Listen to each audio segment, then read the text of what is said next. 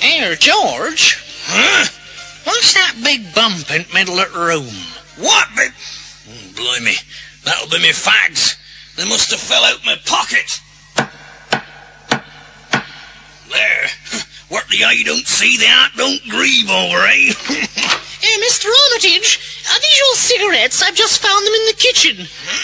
Uh, by the way, you haven't seen the budgie flying about, have you?